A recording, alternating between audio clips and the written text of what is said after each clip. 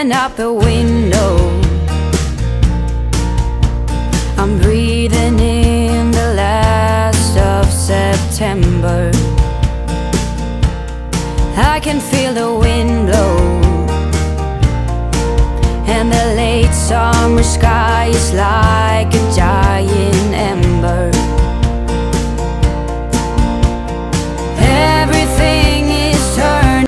kolejny dzień mojego ra, ja, jarskiego, tak? Wegetariańskiego, o niech będzie takie ładniejsze słowo.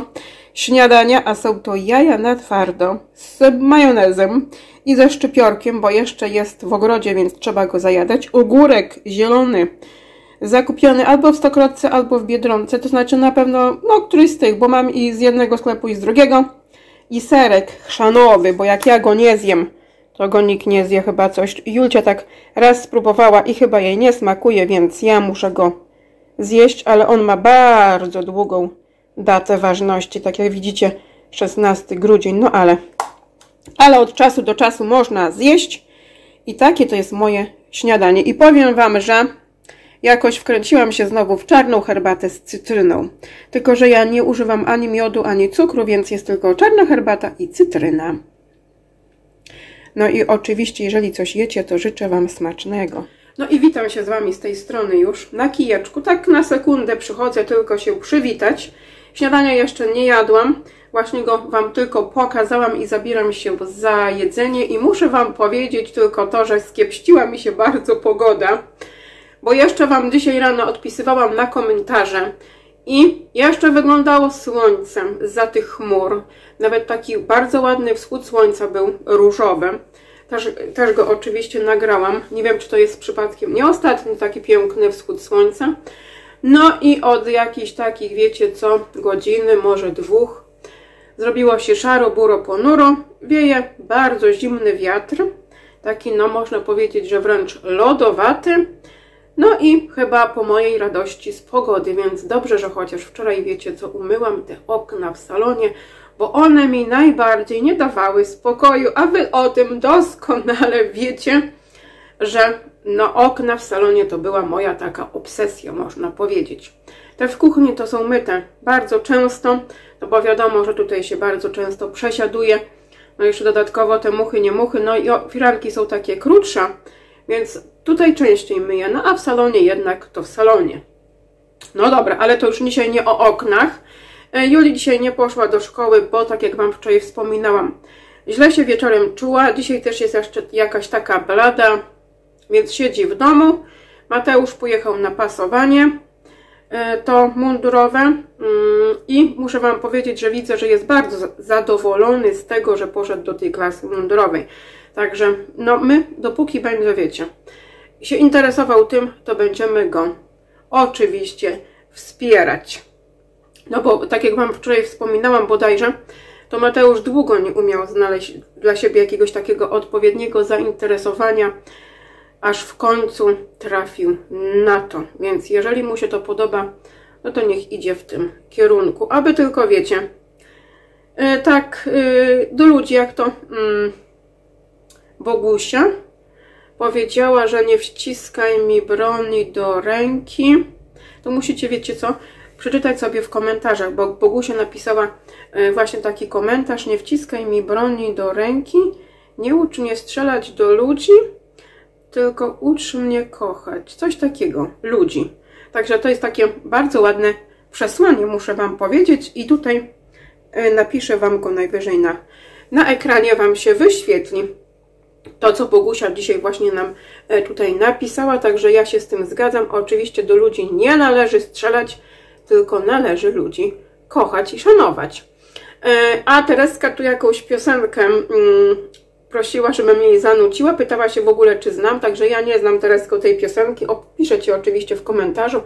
Ja znam tylko jedną. Przyjedź, mamo, na przysięgę, ale nucić to, jak powiem Wam szczerze, nie zamierzam z tym moim jeszcze takim trochę chrypiącym głosem. I jeszcze muszę Wam powiedzieć, że ja, tak może dziwnie zabrzmi, ale ja aż tak bardzo nie zwracałam uwagi na te moje drzewa. No w sumie do tej pory to liście były. Od jakiegoś czasu to tych liści na tych drzewach nie ma, ale Ania Zajdel właśnie dzisiaj napisała rano w komentarzu, że mam bardzo ładną jemiołę na, drzewa, na drzewach i faktycznie muszę Wam powiedzieć, że tam, no to jak tam, ale tutaj na tym drzewie, no to faktycznie bardzo ładna ta jemioła jest. I trzeba będzie niedługo już pomyśleć o jakimś wieńcu y, tym adwentowym i tak myślę, że może w tym roku bym sobie sama coś wykombinowała. Jakiś taki wieniec adwentowy pod koniec listopada i zrobiła. Mam takie te puste pojemniki po świeczkach, ale to chyba mam tylko e, dwa. Więc jakbym sobie więcej znalazła, to by były takie nawet ze świeczkami. Także to jest nawet bardzo fajny pomysł i Ani dziękuję oczywiście za podsunięcie pomysłu ze strójkiem bożonarodzeniowym. Ale to dopiero pod koniec listopada. E, no dobra, także to Wam powiedziałam. E, myślę, że więcej nic takiego. A, jeszcze jedno. E, ja sobie dzisiaj tutaj powiem Wam, bo ja zaraz zapomnę. Przepisałam sobie przepis od Krysi, Krysika, już mniejsza z tym jak tam dalej ma, na masę do piernika staropolskiego. Krysia pisała, że robi tą masę od bardzo dawna i ja ją Wam podam, ale dopiero w grudniu. Ale jeżeli macie ochotę, to ten komentarz jest pod filmikiem e, z, dzisiaj co mamy, czwartek, ze środy. Więc jeżeli, to ja Wam go podlinkuję, o, podlinkuję Wam ten filmik w opisie filmiku i jak będziecie mieli ochotę, to zajrzyjcie sobie tam i zajrzyjcie sobie w komentarze, bo naprawdę bardzo fajny przepis podała na masę do przełożenia piernika. Pisała, że robi go od lat, i jest bardzo dobry. Jest z kokosem i można dodać sobie też i orzechy. Więc taki można powiedzieć, że w formie bounty. Ok, bo tak. Widzę, że mi się tutaj ręka trzęsie, bo Was nie postawiłam, tylko trzymam dzisiaj tak na kijeczku. I chwilowo to tyle. Ja zajadam to moje śniadanie. Najpierw kończę ogarniać salon, a chyba przedtem to sobie zrobię tą ciasto na rogale, ale to jak będę robiła wszystko po kolei, to oczywiście będę Wam wszystko po kolei pokazywać. Także dzisiaj to chyba będzie taki trochę piekarniczy mm, dzień. Wioli wczoraj napisałam jeden przepis, ale dzisiaj jeszcze tam chyba Wioli dopiszę jeszcze jeden. I Wiola, nie wiem czy oglądałaś filmik, ale tutaj na kanale też jest taki y, przepis na e, schab duszony, pieczony w mleku. I on jest też jest bardzo dobry i może być fajną wędliną na kanapki zamiast tej wędliny kupionej w sklepie. To to chciałam Ci jeszcze powiedzieć. Także no na chwilę obecną tyle. Na pewno jeszcze się dzisiaj do Was odezwał. Mam nadzieję, że Juli to przejdzie i że to nie jest jakiś, wiecie, zaraźliwy wirus typu, nie wiem, trzydniówka czy coś i to nie będzie, tak wiecie, teraz pełzać nowy wirus tutaj po naszej rodzinie, bo no czegoś takiego to ja sobie powiem Wam szczerze, że nie wyobrażam. Jeszcze się z przeziębienia dobrze nie wyleczyłam, a teraz jakby miało mnie dopaść jakieś takie coś, nie wiem, trzydniówka, jelitówka, no to to już by była całkiem masakra. I u nas pogoda kompletnie się już popsuła, pada deszcz, zrobiło się szaro, buro i ponuro, jak tutaj, jak u większości z Was, bo Wy też żeście pisały, że u Was też dzisiaj pada i jest brzydki, po, ponury, taki listopadowo typowy dzień. Także u nas jest już tak samo, a ja się biorę, wiecie co, za robienie rogali. Tutaj mam mąkę przesianą, ale to po kolei, zaraz Wam wszystko będę po kolei opowiadać. I tak jak Wam wczoraj wspominałam, bo tam wczoraj Wam wspominałam, że mam ochotę zrobić rogale, takie, no powiedzmy, marci, marciańskie, marcińskie, no no wiecie jakie, na świętego Marcina. I e, z tym, że nie mam maku białego, więc to będą takie ala rogale, żeby tylko było coś słodkiego na 11 listopada. E, później może jeszcze zrobię, wiecie co, e, szarlotkę, tu moją standardową tutti frutti, ale to zobaczy się. Na razie zaczynam od rogali. Przywiozłam sobie też Antośka do, do domu. Mm, Antosiek już jest w domu i muszę Wam powiedzieć, że chyba na moje nieszczęście, ale u nas w szkole jest jelitówka, bo Antoś coś mówił, że u niego w klasie dzisiaj też było tylko ośmioro dzieci, bo niestety, ale reszta miała dolegliwości żołądkowe, no ale no to nie miejsce może na takie sprawy, no ale teraz już wiem skąd ta Julci wczorajsze złe samopoczucie, aby tylko teraz, wiecie co, nie przeszło to na resztę rodziny, a szczególnie na mnie. No, bo ja tak jak Wam wcześniej wspominałam, jeszcze z przeziębienia dobrze nie wyszłam, a już bym miała wejść w jakąś kolejną nową chorobę. No dobra, ale tu teraz tak, te rogaliki, więc zaraz Was odwrócę i będziemy robić. To znaczy ja będę robić rogaliki, a Wy będziecie oglądać i ewentualnie sobie też przygotujecie. Jak nie, no na 11 listopada to raczej Wam już nie wyjdzie, żeby sobie to przygotować, ale może sobie przygotujecie to na niedzielę na przykład. Jak nie na tą, to na kolejną, bo myślę, że Wy też będziecie pewnie piekły dzisiaj jakieś tam rogale czy coś innego. Wiem, że na pewno Ela K będzie piekła rogale marciańskie e, z białym makiem e, i, i wiem, że Kasia, Kasia idzie w poszukiwaniu takich rogali na miasto. A ja powiem Wam, że jakoś nigdy, nigdy nie miałam tych rogali takich z nadzieniem tym z maku, mm, ani z Biedronki, ani z Lidla, raczej u nas chyba tutaj nawet w piekarni tu nie ma. Y, a teraz dostałam, przepraszam Was, wiadomość. Wiadomość dostałam, także przepraszam Was, zawiesiłam się dlatego. I to widzę, że taką dość śmieszną wiadomość, zaraz sobie ją dobrze tutaj przeczytam. I nigdy nie jadłam takich, powiem Wam, rogali. Nie wiem dlaczego. E, może trochę ta cena. No w sumie to ta dzisiaj chyba po 3,99 można dzisiaj kupić takie rogale, ale bardziej to mi się wydaje po prostu, wiecie, że one po prostu są, no, nie za koniecznie dobre. I tutaj chyba też część z Was pisało właśnie, że jest marketowe, nie są za pyszne rogale marciańskie, tak mi się wydaje, więc ja biorę się do roboty, a Wy bierzecie się razem ze mną i to będzie taka dzisiaj bardziej kuchenny vlog, taka bardziej kuchenna inspiracja, a wiem, że bardzo lubicie moje przepisy, bo też tutaj pisałyście mi pod ostatnim vlogiem, że korzystacie bardzo często z moich tutaj przepisów i nawet yy, co po niektóre z Was powiedziały, co najlepiej lubią. Także to jest, wiecie co, takie bardzo, bardzo miłe, bardzo takie motywujące, żeby więcej siedzieć w tej kuchni i więcej tutaj właśnie gotować. No ale no dobra, tyle tytułem wstępu takiego powiedzmy i bierzemy się teraz już za robotę. I zaczynamy od zaczynu, czyli do miski wkruszamy drożdże, czyli tak standardowo. Tych drożdży potrzebujemy 15 gram na pojedynczą porcję, ale ja zawsze robię podwójną porcję, no bo wiecie, 12 rogalów na 5 osób, no to co to jest? A jeszcze jakby tak ktoś przyszedł i trzeba by było go poczęstować, no to już nie ma czym. To się nawet nie ma co oszukiwać, także yy, na pojedynczą porcję potrzebujemy 15 gram drożdży, 50 gram cukru, i 250 ml ciepłego, ale nie gorącego mleka. Oczywiście to trzeba wszystko wymieszać, zrobić zaczyn.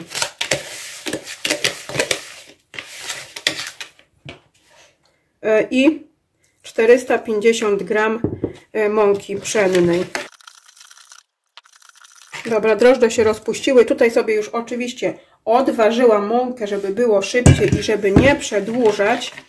I tutaj sobie dodaję, zawsze sobie do, do zaczynu dodaję około dwóch łyżek mąki. I ja zawsze tak robię zaczyn. Oczywiście wszystkie składniki dokładnie znajdziecie standardowo w opisie filmiku. Dobra, zaczyn wymieszany. Teraz odstawiamy do wyrośnięcia na około 15 minut. I teraz tak, zaczyn rośnie mi w piekarniku, bo ja sobie jak mam chłodniej w domu, to pomagam piekarnikiem, więc zaczyn tam rośnie, a tutaj sobie rozpuściłam 50 gram masła i teraz dolewam 50 gram oleju. Zaczyn ładnie wyrósł, więc teraz już przystępujemy do pracy takiej konkretnej, czyli do wyrabiania ciasta, ale może najpierw powiem Wam y, o wszystkich składnikach. Więc na jedną porcję potrzebujemy 450 g mąki pszennej, y, typ 450, y, pół łyżeczki soli, jedno białko, żółtko zostawiamy do posmarowania już gotowych rogali. E, zaczyn, który robiliśmy wcześniej. E, cukier 50 gram. E, tutaj mamy 50 gram roztopionego masła i 50 gram oleju oraz 250 ml ciepłego mleka. I teraz bierzemy się za wyrobienie ciasta. Zainstalowałam się już z misą do robota kuchennego. Dodaję sól do mąki oczywiście, cukier, pozostałą część, która została mi z zaczynu, wyrośnięty. Zaczyn, o teraz widzicie, muszę Wam powiedzieć, że bardzo ładnie wyrasta w piekarniku, także ja jak mam chłodniej w domu, to zawsze sobie tym piekarnikiem pomagam.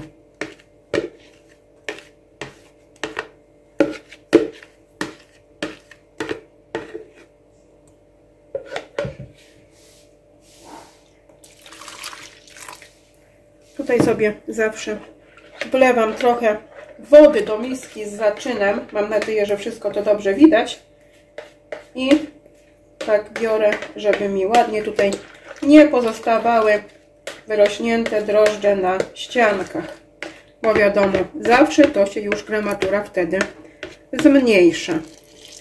Także wlewam.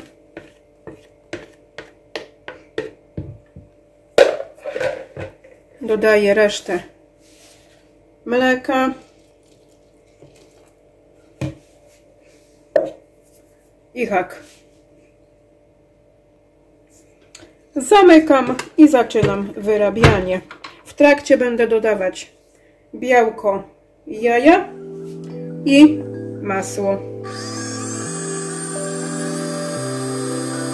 I am a woman, not here to please you. Time to move on cause my time is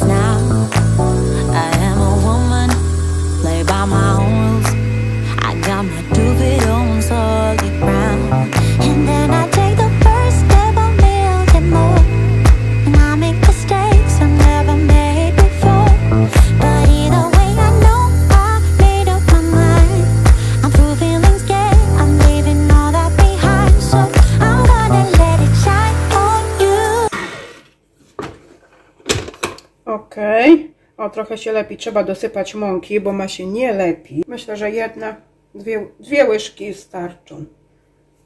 I, no i musimy ponownie zagnieść. Ok, ciasto teraz jest już dobrze wyrobione. Tak jak widzicie, nie klei się.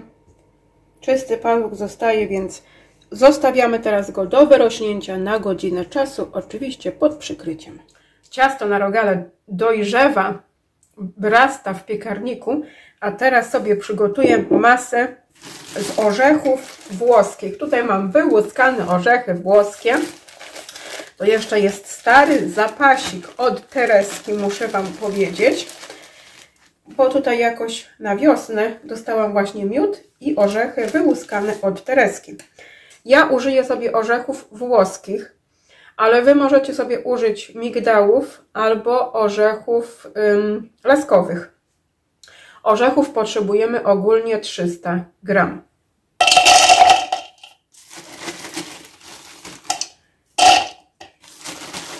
Przesypię sobie tutaj do pojemnika, w którym będę to miksować,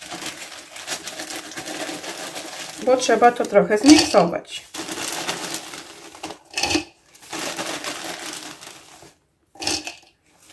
Chyba trzeba będzie to podzielić, wiecie co, na dwie części, bo nie wiem, czy mi się to tak zmiksuje wszystko, a ja to tak... Dobra. Mam 300 gram, także 300 gram orzechów. E, tutaj mam 3 łyżki cukru pudru. Myślę, że 3 łyżki to wystarczy. Jak najbardziej. Jak lubicie takie bardziej słodkie, to możecie sobie dosłodzić albo ogólnie to użyć miodu. Ja na razie zrobię z cukrem pudrem. A tutaj mam 180 e, gram mleka. To będzie takie 200 ml. Więc myślę, że 3 czwarte szklanki na pewno. E, jeżeli tak mierzycie na szklanki. E, ja tą przepis na masę też Wam oczywiście zostawię w opisie filmiku. I teraz te orzechy sobie trochę zblenduję blenderem ręcznym. E, tylko najpierw muszę je tutaj przesypać do jakiejś miski i zainstalować noże, bo o tym nie pomyślałam.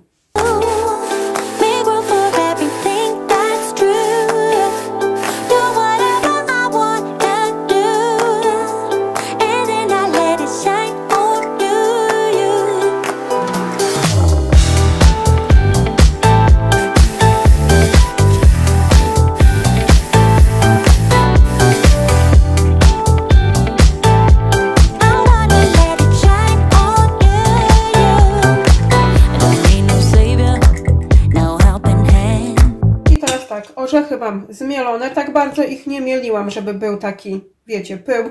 Wolę jednak, żeby były wyczuwalne, że to są orzechy. Dosypuję teraz cukier, puder 3 łyżki. Wymieszam dokładnie. Jeżeli, jeżeli chcecie trochę bardziej słodką, to możecie dodać sobie więcej tego cukru, pudru. Mi się wydaje, że 3 łyżki wystarczą. Nie musi być to takie, wiecie, Znowu bardzo, bardzo słodkie. I teraz wlewam to 180 mm, gram mleka. I trzeba to zostawić trochę, żeby orzechy napęczniały i wchłonęły cały płyn.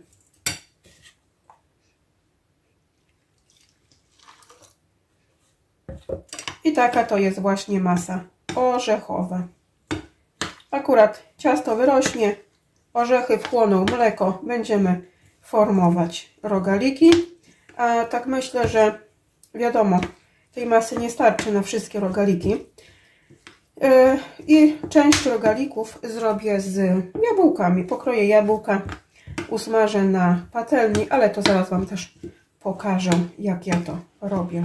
Teraz przygotuję drugi farsz, czyli jabłka smażone na maśle z cukrem.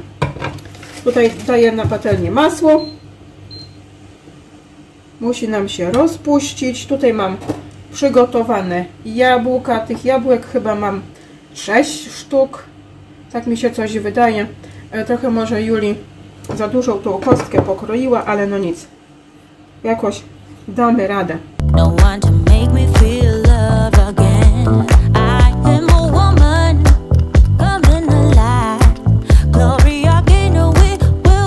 Dam trochę kropel soku z cytryny.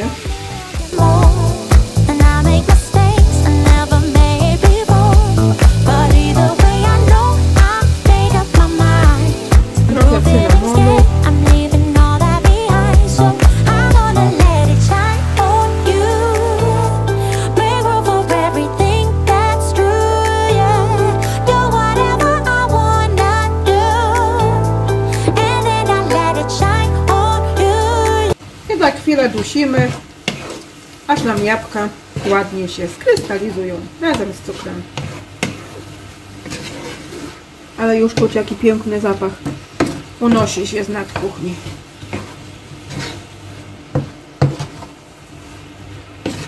Jabłka trochę odparują z soku i będą rewelacyjne.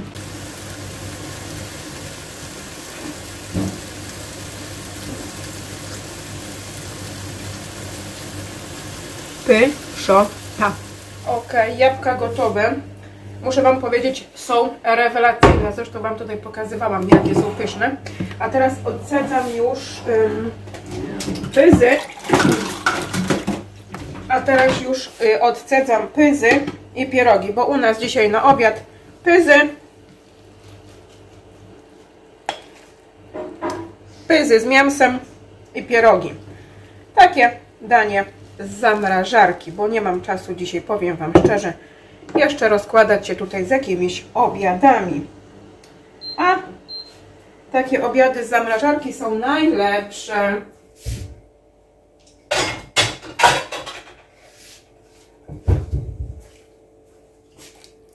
Wiem, że e, sporo z Was też skusiło się na e, te pyzy z mięsem, o, którym ja was tutaj, e, o których ja Wam tutaj mówiłam. Także wiem, że też robiłyście. Dzisiaj chyba nawet ktoś robił pyzy z mięsem, ale przepraszam Cię Ktosiu, nie pamiętam kto, ale czytałam w komentarzu właśnie, że jedna z Was dzisiaj robi moje te ala pyzy z mięsem. Także my będziemy zajadać. Cebulka też już jest gotowa. Mogę Wam pokazać, bo już nie będę Wam na talerzu pokazywać. Cebuleczka też gotowa. Także my zajadamy i robię rogale. Ja zajadam i życzę Wam oczywiście smacznego. Tak jak widzicie, ciasto bardzo ładnie wyrosło. Teraz przekładam je na stolnicę. Ciasto należy trochę przegnieść. Widzę, że się trochę klei, więc podsypałam mąką. I zaraz będziemy, to znaczy zaraz ja będę formować rogale.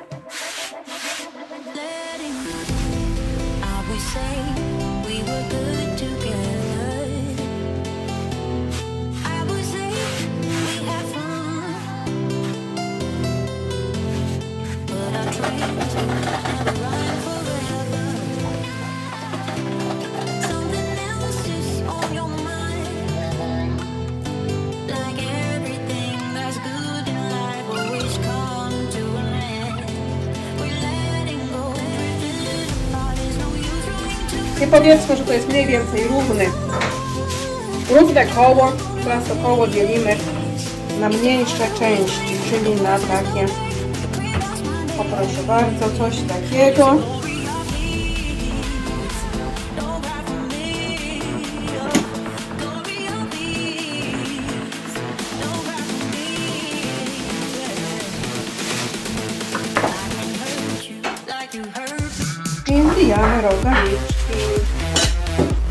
Rogaliki zwijam tak.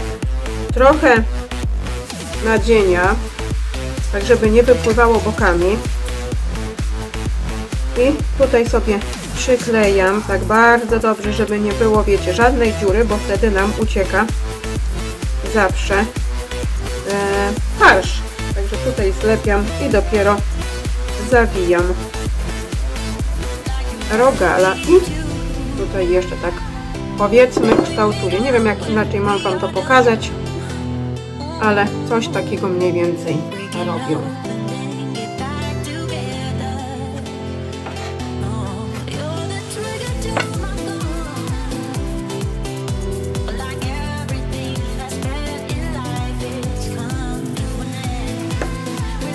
Trójkąty są trochę nierówne, więc będzie jeden rogal większy, drugi rogal będzie mniejszy.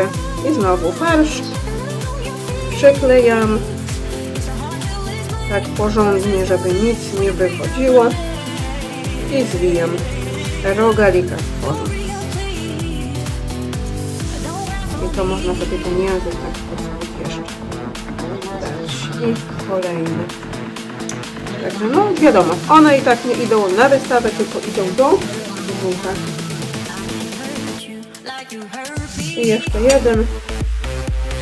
Hop, tu sklejam.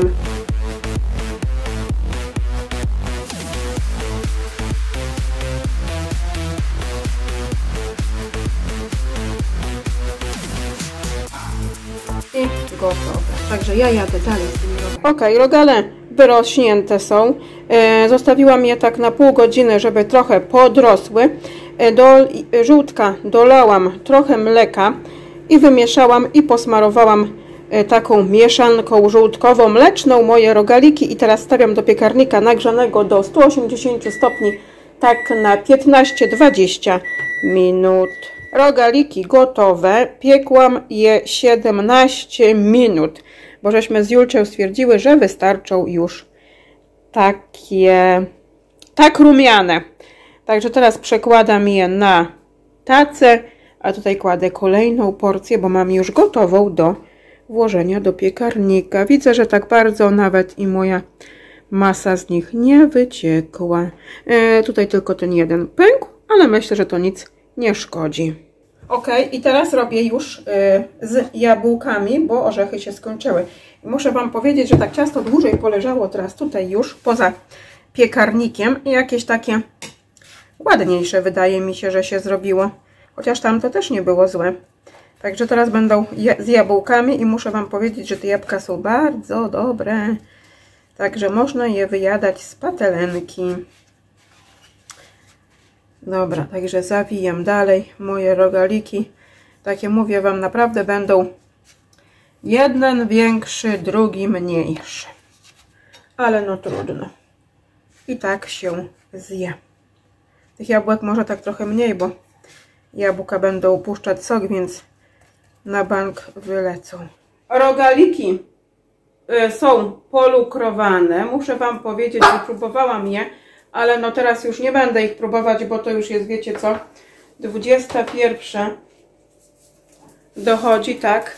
No to już moja godzina karmienia to już dawno jest zamknięta, więc dzisiaj już ich próbować nie będę. Ale jutro je spróbuję do kawusi i Wam powiem, czy są smaczne. Ale musicie uwierzyć mi na słowo, nawet i bez tego mojego tutaj, wiecie, y, próbowania, że są naprawdę smaczne. No i już ich, tak jak widzicie, ubywa, także zostało ich tyle. A widzieliście, ile ich było. E, dla mnie to jeszcze powiem Wam szczerze, nie koniec jest wieczoru dzisiejszego, bo ja mam dzisiaj jeszcze w planie powiesić zasłony w tamtym oknie. Firanki dzisiaj nie będę już wieszać, także sobie firanki odpuszczam, no bo firanki trzeba uprasować, ale powieszę sobie przynajmniej zasłony i nie będzie te okno tak byle jak wyglądać. A tu powiem Wam, że tutaj już kolejna osoba kicha. A gdzie idziesz? Zamknięta jest. E, tak, kicha już. E, pochodzi bez czapki mój kawaler i już jest przeziębiony. Także ma 3 dni na to, żeby się wyleczyć z kataru, e, bo e, nie wyobrażam sobie, żeby no teraz znowu siedział w domu kolejny członek rodziny, że tak powiem, na jakimś chorobowym przeziębieniu. E, bo coś czuję, że jak znowu mi tu jakiegoś bakterię, wirusa przyniosą, to znowu będę, wiecie, ja chora. Ale to już nieważne o tych chorobach, bo u nas to teraz jak się już czuję, że zaczęło te choroby, no to się tak prędko nie skończą, bo teraz to będzie chyba jedno drugiego zarażać. Także ja teraz biorę się za wieszanie tych zasłon. E, firanki to i tak jedną mam nieupraną, właśnie chyba z tego balkonowego okna mam nieupraną. A jutro mm, zapytam się męża, czy wieszamy te firanki, czy nie wieszamy tych firanek, więc to będą teraz, wiecie, takie rozkminy rodzinki M, czy firanki będą wisieć w oknach, czy zostaje bez firanek. No, takie problemy będę mieć. A jeszcze można by było umyć podłogi, żeby już ten, wiecie, długi weekend, można powiedzieć, zacząć w czystości. No i tyle. Jak powieszę firanki, to Wam, e, no, to znaczy jak powieszę zasłony, to Wam jeszcze pokażę i przyjdę się pożegnać e, już na, na dobranockę. Ok, zasłony powieszone, muszę Wam powiedzieć. Julcia mówi, że całkiem spoko to wygląda. I tak teraz wiecie co, zastanawiam się, czy jest sens wieszać firanki. Od razu tutaj zrobiłam porządek na tym dużym stole. Także tutaj zmieniłam obrus, zmieniłam te kwiatki trochę, e, ich zmniejszyłam, bo tamten wazon był za, za szeroki i e, dałam im teraz ten węższy wazon e, i tylko jedną świeczkę tą z ją kupiłam w Lidlu. Ona ładnie pachnie, 10 zł kosztowała. Zresztą widzieliście tam w którymś holu zakupowym, tam to trzeba powynosić papiery. I tutaj postawiłam te świeczki, które wcześniej stały na, na stole i muszę Wam powiedzieć, że całkiem fajnie to się prezentuje właśnie jak e, tutaj też takie dekoracje stoją na parapecie. E, tam możecie zauważyć jeszcze moja papryka jest z podwórka, e, z tunelu i ona sobie tam dojrzewa. I nawet chyba ze dwie są już takie czerwone. No, więc to jeszcze chciałam Wam powiedzieć. A teraz już się odwracam.